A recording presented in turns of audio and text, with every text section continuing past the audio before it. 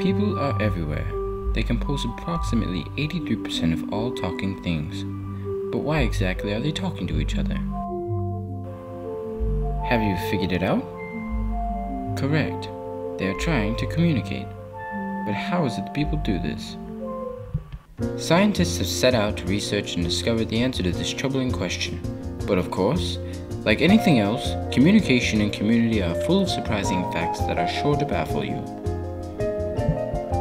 It is an issue that can only be researched in community, although at times it is even difficult to communicate within one. Among the most obvious things that have been discovered is that it is quite important to have horizontal relationships, though these are useless unless they are formed under the greater vertical relationship.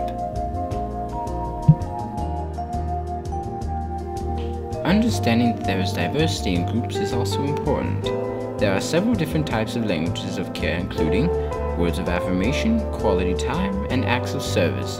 There are no little people.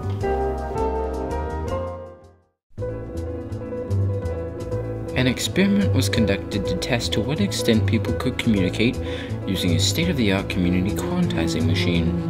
The Hawktron J1200 uses an advanced cable connection system attached to the subject's cerebrum designed to transmit and read communication between two subjects.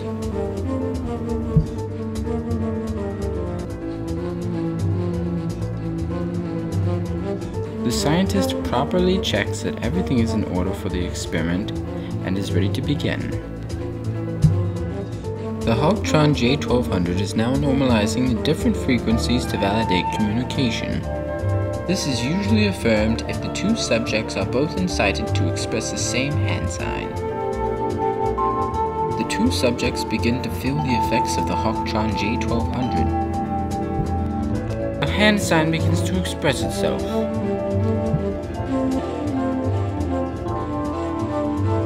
It's the Frisky Dingo! The subjects are on the same frequency. The experiment is a success. Community has also been shown to be much like a human body. The condition of one part or member affects the whole.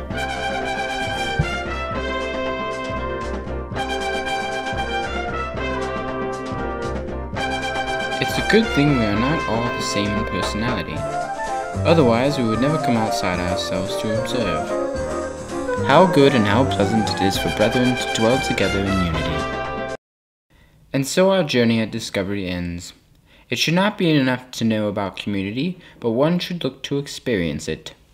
Join a fellowship or something.